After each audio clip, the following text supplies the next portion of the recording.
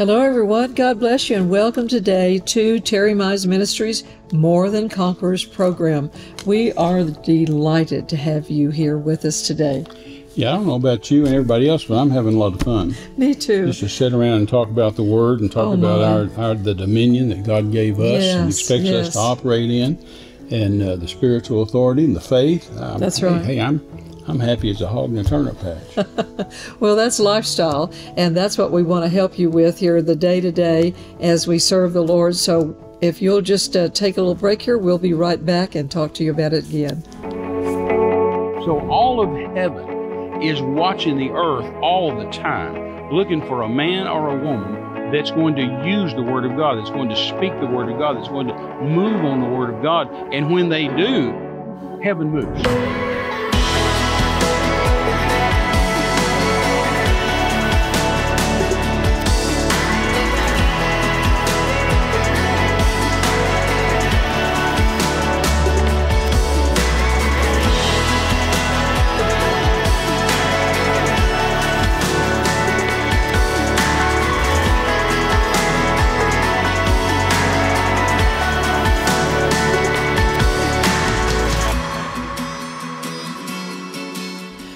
Okay, here we go. We're going to talk about some good stuff again here. I, I think on the last program, Terry, too, we were talking about how, um, you know, we got started and learning. We were in our 20s, early, yeah. early to middle 20s, and we um, each had two children, and our spouses, uh, we each had two little boys, and our spouses uh, were, we were with them learning the Word of God.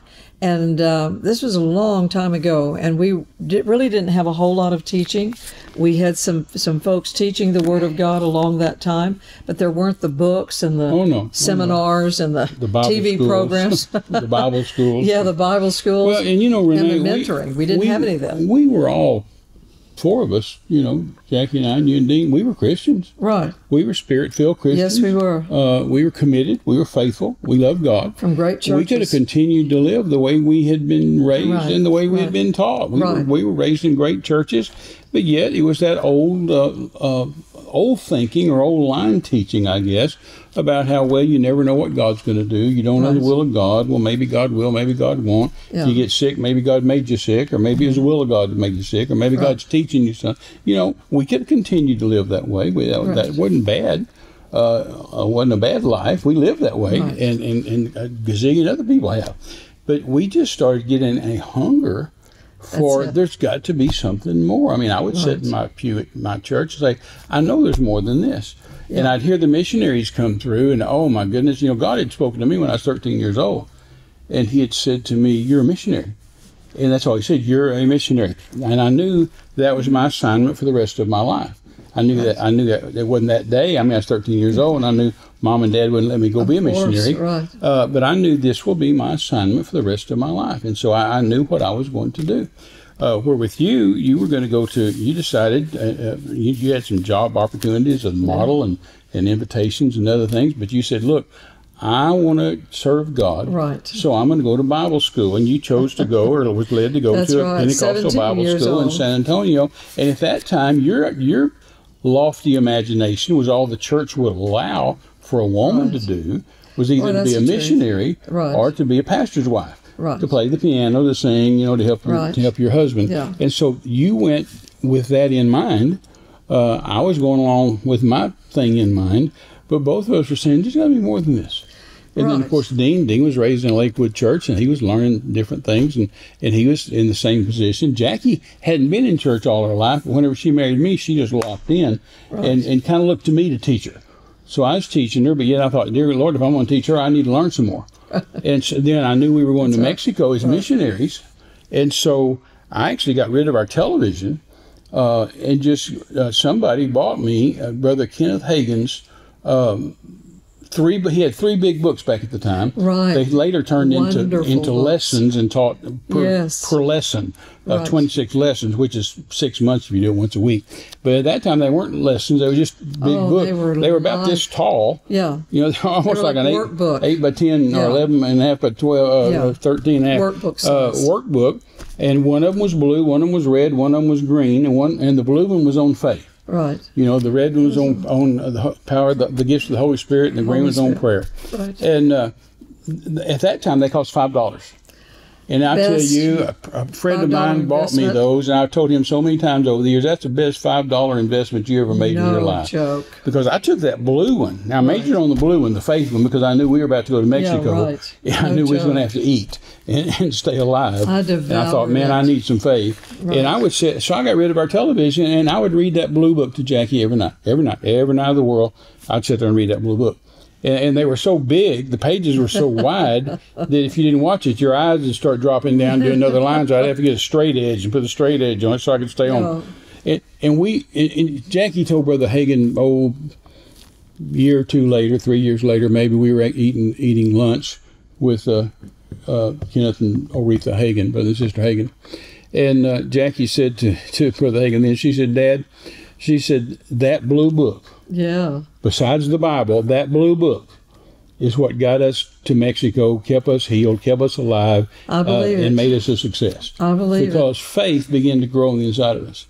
And uh, uh, by this time, now we had heard Brother Hagin, Mm-hmm. and by this time we had heard Brother Copeland, Kenneth Copeland, and uh, and so we're, I'm saying, wow, that's what God's showing me. Right. You know, so here somebody believes what I believe. Exactly. And uh, I remember the first time I took Jackie to a Kenneth Copeland meeting, it would have been oh, 1972. We'd just gotten out of the army, and uh, and because I you know I got drafted on my wedding day, so when Right. Jackie and I got drafted, uh, got married. I also got drafted the same day, so we had to do a stint in the army. And um, when we got out of the army, then I took her to a, a Kenneth Copeland meeting. And there wasn't a lot of people there. There were just maybe a few hundred. It, it wasn't it wasn't a huge meeting, and um, it's in a much bigger building than, than there were people. And and uh, Jackie started crying one night during one that three day meeting, and I looked at her and I said, "What are you crying about, baby?" And she said, "I'm just so excited that all these people believe what you believe." She said, that "You're not the only one that believes this." no, that's and, right. and I looked around at that crowd and I said, "Don't kid yourself, baby. All these people don't believe this." but I said, "I do, and I'm going to lock into it, and we're going to live by it."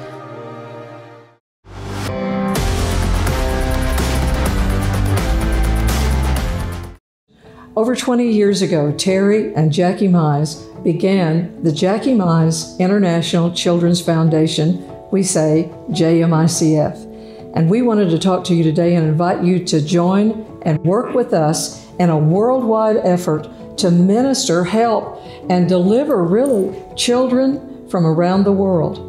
We work with orphanages, even human trafficking centers. We work to help widows and displaced women, and we are working daily um, more than ever before because there's so many great needs around the world to work with orphanages and to help children that are really in desperate, dire need. I found two verses in the Bible, Proverbs 24 11, that says, Deliver those who are drawn away to death, and those who totter to the slaughter, hold them back from their doom. And then in Proverbs 31, it says that we have got to speak up for those who don't have anyone to speak up for them. You know, JMICF wants to do this all year long. So we invite you to help us. And then also, TMM, we take care of all the administrative costs also for JMICF as well as Terry uh, and his traveling ministry. So we are so grateful for anyone that can give us a partnership endorsement and help us reach the world through JMICF. God bless you and thank you again.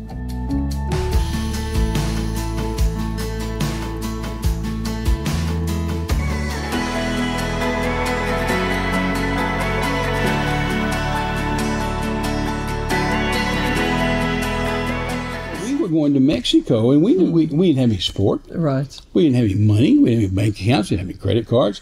I mean, God just said go, and we just packed our bags and went. And uh, in fact, uh, uh, I want to give Matt uh, a a picture I came across just this week of Jackie holding Lynn. Lynn's now 50, holding Lynn in her arms, and we were getting into a, a single engine airplane, a Cessna 206 single engine Wow. airplane, because a friend of mine from, from Oklahoma called me in Texas, and he said, I hear you're about to go to Mexico. Uh, to live there, you embark on a missionary lifestyle. And I said, Yeah, I am. He said, How are you going? And I said, I'm not real sure how I'm going. I didn't. The, the real truth was, I had no clue because we had no money, and so I'm, I'm and we had no car, and Right. so I, I just said, well, I hadn't decided how we're going. Yet.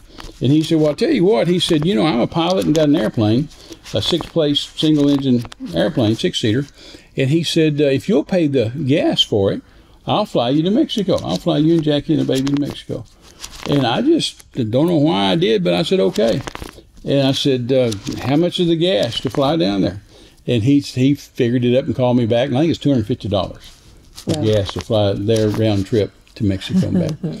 It's way south Mexico, Oaxaca, Right. Mexico. And I've often said that Oaxaca's not the end of the world, but it's certainly visible from there. And so we flew to Oaxaca, Mexico in this single-engine Cessna. And uh, and I found that picture the other day. I'll, I'll try to get it to Matt before he airs this program. And and uh, it's it's a, it's a cool throwback It is. picture. It's wonderful. But anyway, we we got down there, Renee, with no money. We had fifty dollars. By the time we landed in Oaxaca, he he I flew down, that. And, and I had no money to pay him. But the night before he got there, he, he we made arrangements that he's going to come down, uh, land in our town. We're going to meet him, load up our goods. We can only take like two hundred pounds or something Yeah, in the yeah. airplane, Right. and load up our goods and go. And so uh, the night before, and I said, all right, I'll have the money for you. And the man, I was believing for it. I was confessing. I was calling it in.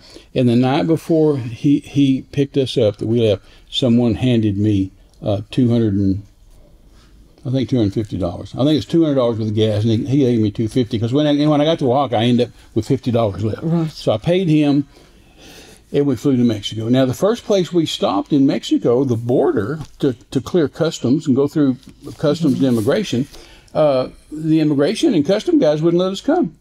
They Oh, came my. out and looked at us, looked at me and Jackie and, and that baby, and looked at the pilot and looked at that those boxes of stuff we had in the in the plane. And he said, "You can't go into Mexico with that stuff." He said, "You're missionaries." Well, And I thought this this guy has discerning of spirits. The devil's anointed him with some kind of discerning of spirits that he can tell missionaries. Wow. Because he because it's illegal to be a missionary in Mexico at that time. right. And uh, I mean, we were just like uh, uh, we were illegal aliens. you know, we're crossing the border without permission. And so uh, uh, he uh, he just said, "You can't go. Forget it. Leave."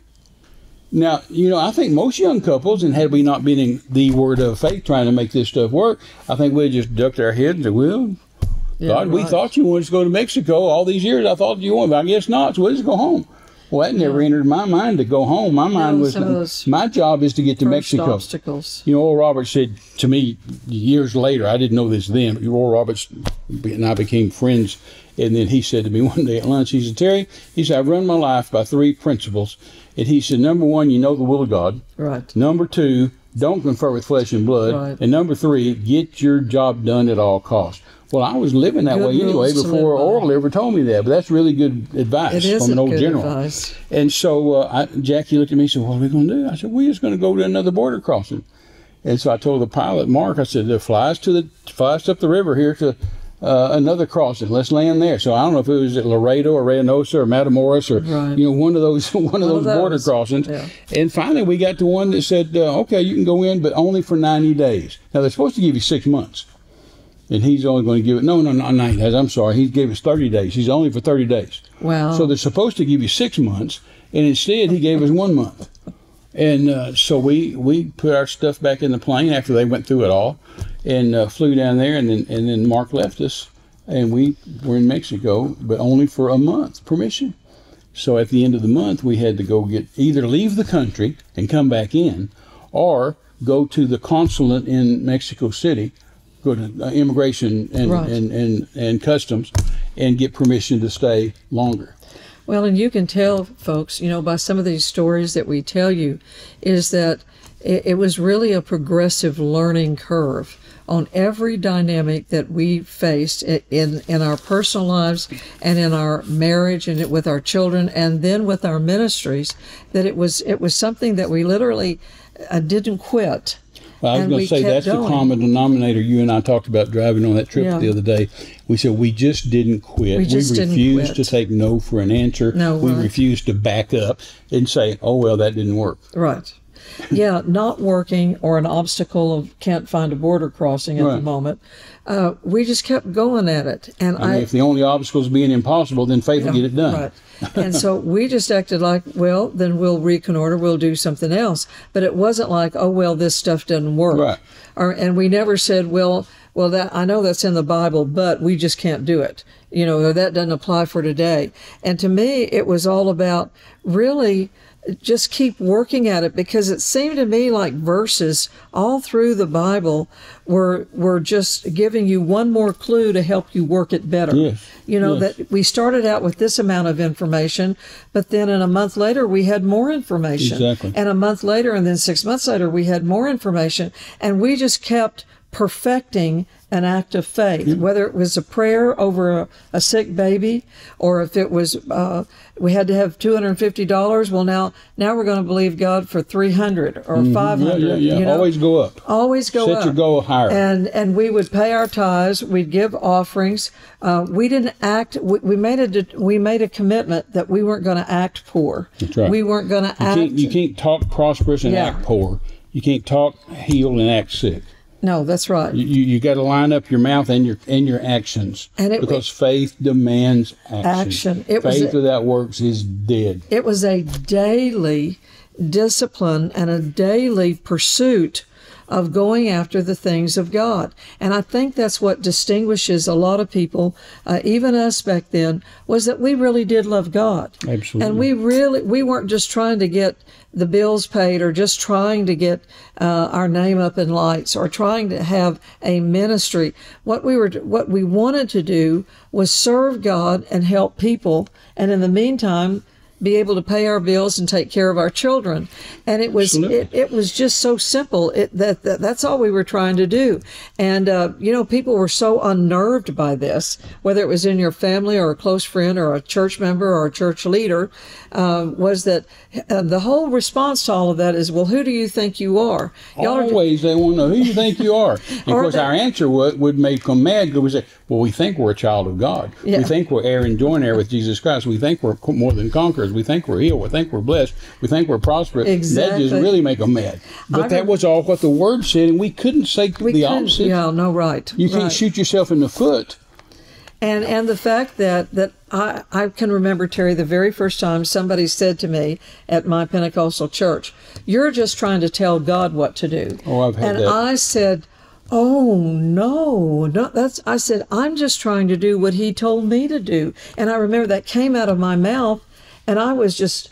I, I just thought, well, that's exactly what we're trying to do. We're trying to just obey God. Exactly. And and then when I found out, uh, I'll give you a verse that uh, really really helped me. Numbers twenty three nineteen. It said that God is not, a man, that he should lie. Yes, yes, and if he said a thing, he'll do it. And if he's No. spoken it, he's going to make it good. Not the Son of Man and that I just, repent. oh my goodness, it was like, and here I here I'd already gone through three years and graduated from Bible college and had excelled in that environment of the Word of God and the local church, and even traveled for the school on the weekends and played the piano and taught in churches and did different things.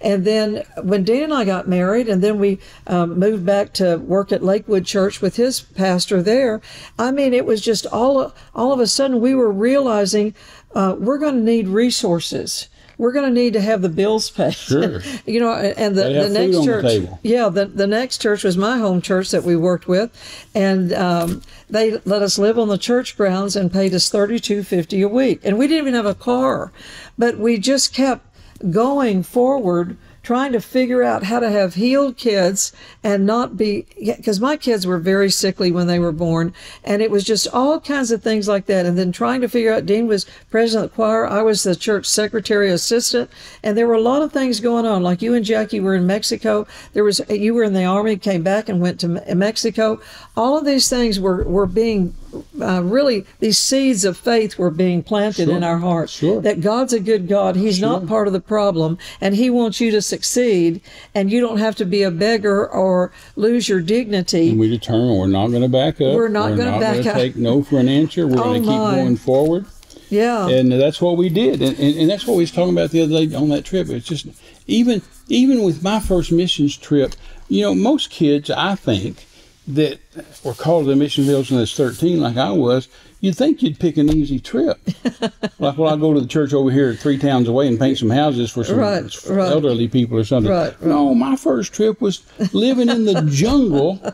I mean, the, Right. the jungle with man eating animals and crocodiles and, you know, what have you, with, with an Indian tribe that didn't No, wear clothes. Yeah, And we had to live wildcat style, no catch, no eat. If we shot a monkey, we got to eat monkey. We shot Yeah. a, a, a parrot, we got to eat parrot. We didn't shoot anything, we didn't eat anything. And yet, and they told me they said, now, if you come down here, you're going to be sick. You come, you know, you're going to be poor. Uh, it's going to be horrible. Wow. I wish I'd have saved their letter. It was a classic. it was a classic. Yeah, we um, had that letter. embalmed with unbelief and fear, and yet it was the truth. They were just telling the way Right. it was. And so they said, it's going to be bad. It's going to be terrible. It's going to be awful. And I said, I don't care. I love God. I'm coming. Yeah. And sure enough, for Renee, I got yellow fever. I got, I, I guess I got tuberculosis. Uh, I I never knew I had tuberculosis, but whenever I, I got in the army later, Yeah. uh, I was out in training one day in basic training, and uh, they came out and, and, and blew a whistle and said, Mize. I said, yes. They said, get to the infirmary. They're calling you to the infirmary. So I thought, well, I wonder why I'm not sick. And so I went to the infirmary, and the, the doctor was an officer, you know, and, Wow. and I went in there, and he said, sit down, uh, you know, private. And I sat down, and he said, uh, why didn't you tell us you've had tuberculosis? And I said, well, sir, I haven't. You most certainly have. Why didn't you tell us that? You could have stayed out of the army if you'd have told us that. And, and I said, Wow. I haven't had tuberculosis. He said, You most certainly have. He said, I've got your x rays. We took your x rays the other day of your chest. He said, I see the scars and I see where you've had tuberculosis. Why didn't you tell us? And I told him again, I said, Because I never had tuberculosis. And I, I literally left his office thinking they'd made a mistake. And then it dawned on me several years later. I thought, I wonder if I really did have tuberculosis, and God just healed me of it because they saw it on the X-rays. that. I wouldn't but, doubt but I mean, I picked a trip, or God picked a trip that was just. I mean, it, it was the one. It was the the. The one to kill a new missionary, the one, and, and I got yellow fever. Isn't I got that all those diseases. I had blood diseases where, where I was bleeding all over my body and had sore. I mean, I, I- they told me I was going to die. They thought I was going to die, and so uh, I My, came home and still wanted to be a missionary. I mean, I only stayed home two weeks, went right back, and been going ever since. But Well, and- so it was and- real to me. It yeah. was real to you. You and Dean decided No, we're right. going to make this work. And and Jackie and I said we're going to make this work. I mean, if we have to just Exactly. you know, Well, God has to send it with an albino raven with pink eyeballs. well, he's going to support us. Well, and what we what we really built into us, which we don't see a lot in other people, and not, uh, probably the, the two most important things is that we really did love God and we really had a hunger for the Word of God. We really wanted to work for God, and that we didn't see setbacks as an excuse to quit that anytime there was a setback or anytime there was a challenge, it wasn't something that we used to to stop using faith. That's right. Or to stop obeying God, or to not pursue a goal that we had set out we there didn't that we want to compromise. We didn't Yeah. want to sit back. We didn't want to say, "Well, this is good enough. I'll settle for this." We Yeah. wanted. We wanted to say, "This is God's word, and Right. we're going to live this." You know, Renee, I've had Uh, in those early days. You know these stories, but in those early days, I had three or four millionaires that would come to me to and offer me all kinds of money Right. but they want me to ask them for it. Right. They want me to tell them my needs. They're happy to meet my need if I'll just tell them. Yeah. But we had determined, just like you and Dean determined, uh, you know, Word of Faith 101, you don't tell people your needs. Right. And you don't ask for a place to preach. You just believe God. And I had one, we were leaving town one day in Odessa, Texas. We were leaving, Jackie and I, and the, the kids. I don't think we had but two kids at the time. And uh, we were leaving to go drive to Mexico on a long trip. We had zero money. Uh, and I mean, there's no money in the bank. There's no credit cards. I mean, we got what we got in our pocket, and that's it. And we, That's we're, right. we're leaving town, and a That's millionaire called me that had a shop downtown, uh, and he, he said, "Hey, you're leaving town today?" I said, "Yes, sir." He said, "Stop by here. I need to see you before you go." So I stopped by there, and I went in to ask him, you know, "Hey, I'm here. What can I do? Oh, I just want to see you before you left. And then he said, then he took he stuck his hand in his pocket, and he said, "Tell me what you need, Terry. I'll I'll, I'll take care of it. Tell, tell me what you need. You need you need anything?" Well, I'm not. I didn't have anything, Renee. I needed stuff desperately. Right. But I'm not going to tell him. right. He's not my source. And I said, No, sir, God meets all my needs according to his riches by glory, in glory by Christ Jesus. Thank you. And I said, "Listen, I got to go." And I walked out, and he followed me with his hand in his pocket, followed me out the out the his door, and then followed me. I was parked about half a block down the street. Followed me all the way down to my car with his My hand in his pocket, saying, "I tell you sure you don't need anything? Are you sure? Are you sure?" He'd have given me whatever I asked. And I didn't have anything. I needed gas money. I needed food. I needed. Uh, I'm Wow. taking a trip to Mexico with no money, no vision of any money coming in from anywhere. I mean, no promise of it. And uh, he followed me all the way out there and asked me, "Now, Terry, just are you sure you don't need anything? Are you sure? Are you sure? Are you sure?" Reaching in his pocket, and I said, "No, sir." I said, "Look, if God tells you to give me something, you just help yourself. But uh, you're not my source. I can't tell you." I said, "God meets my needs." Thank you. He said, "Well, all right. Have a good trip." Never gave me a dime. That's amazing. And I've had to, other mission. I've had guys uh, pull a wad of hundred dollar bills out like that, hold it in my face, say, "Terry, if you need anything, you need this. Tell me what you need. I'll take care of it." I mean, just like that, right? and, and I said, "No, sir." God, and I mean, Yeah. didn't I didn't have two pennies to rub together. No, sir. Thank you. I, I- God meets my needs. Are you sure you don't need anything? Are you sure? Are you sure? I'm, yeah. God tells you to give, help yourself. If He doesn't, then it's good. Well, to, to me, it's it's the misunderstanding that the church has given You See, I'm not trying to, to be a world. like you said, we don't trying to get our name up in lights. I'm just I, I want to eat and pay my bills, but I'm not going to let them be my source. Source. Another missionary came to me one time, and, and I mean another not a missionary millionaire came in my house in, in Mexico where Jackie and I live, knocked on the door, came in the house, handed me a checkbook. I said, "What's this?" He said, "It's my checkbook." I said, "I see that. What are you giving it to me for?" He said, "Well, open it up. There's a signature card inside because I stopped at the bank down here and uh, got a signature card. You sign it, and from now on, your and Jackie's needs are underwritten, personal needs and ministry needs. Anything you want from now on." And I just handed it back to him, and I said, "Thank you. I'm flattered, but I, you can't afford me." I said, "If I trust in you, we'll both go broke." That's right. And I just gave it back to him, and he walked out, and didn't give me a dime, but he wanted me to tell him what I needed. Well, we're these are all wonderful stories to help you understand and maybe untangle some misunderstanding about really what a walk of, of faith is like. That we put our trust totally in the Lord and we do not trust in the things of the natural. And it's like Hudson Taylor said 150 years ago in China. He said, I was determined to move the hands of men by prayer towards Yes, God. yes, yes, and so, with that in mind, um, you know, we're just going to uh, tell you again today, one more time. We're out of time. We're out of time. and and uh, you are more, More than, than conquerors. conquerors. God bless you all. Renee I just want to remind you that the greatest miracle of all time and the only eternal miracle is salvation. So uh, let's just do that right now. Pray this prayer after me. Father God, I come before you today to accept Jesus. I believe in my heart Jesus is the Son of God. I call on you today according to your word. I ask you to forgive me of my sins, wash me in your blood, make me a new creature. Thank you, Lord, for saving me, and I'll serve you the rest of my days in Jesus' name. If you prayed that prayer, the Bible says you're saved, you're born again. So write us, let us know, tell somebody that you prayed with Terry and Renee and that you gave your heart to Jesus. We love you. God bless you. I said, God, if he pulls the trigger, my job is to believe your word, and your job is to do something about the bullet.